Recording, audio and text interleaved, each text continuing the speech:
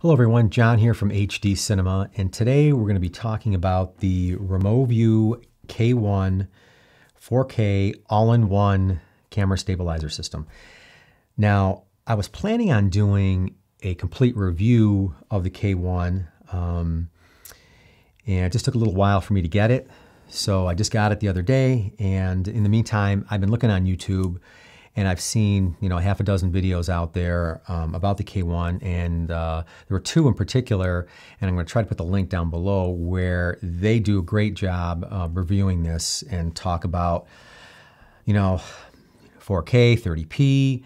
Um, 720, I think 240 frames per second, and they go right into you know the the screen aspect of it and the whole menu, and they they really dive into every single you know, aspect of this, all the controls and whatnot.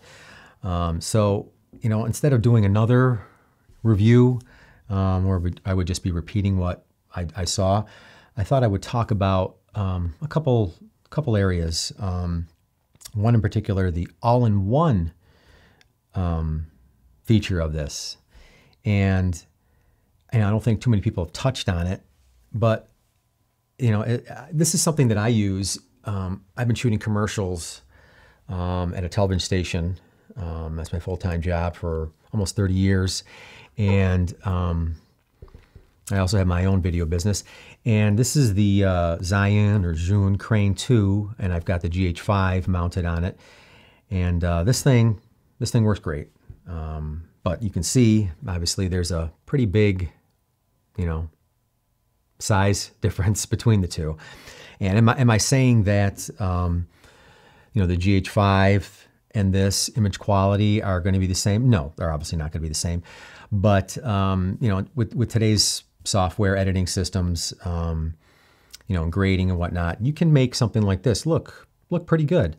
And I think there's a you know there's a place for this. Um, might be able to even use it, you know, in some of the work that we do. I mean, we have um, the the DJI Osmo at the station. I'm just going to move this back, um, and you know, it's used in the news department, and uh, we also use it in the commercial department, and um, it works. The the one thing, you know, it's not all in one. I mean, you have to get out your phone, you have to attach it, you have to open the app, you have to connect, and then you can then you can start shooting. Whereas this, you know, heck, you're just, you turn it on, boom, screen comes on and, you know, you're, you're pointing and you're shooting, you know, so um, I really like that idea, that feature. Um, I mean, we, for whatever reason, with the Osmo that we have, um, maybe it's glitchy, maybe it's the phone we have, but there's always seems to be, you know, when we turn the thing on, you know, it's going to update um, or we lose connection between the phone and the Osmo. So we've had some glitches with it where, I mean, with this, like I said, you're just turning it on and you're you're going. So I kind of I kind of really like that that uh, that feature, and I think you know it, it uh, definitely might work for you know the vloggers out there and and the VJs out there, maybe even in in news departments where you know you need to go out there and get something quick you're turning it on and boom. And um, I know there's been a test out there between the Osmo and, uh, and the K1 as far as the onboard audio. And what I've seen is um, the, the K1 definitely performs much better. Um, you know, I'll see if I can find those as well and, and, put that link. I think there was one in particular that I saw, and I'll see if I can put that down there as well.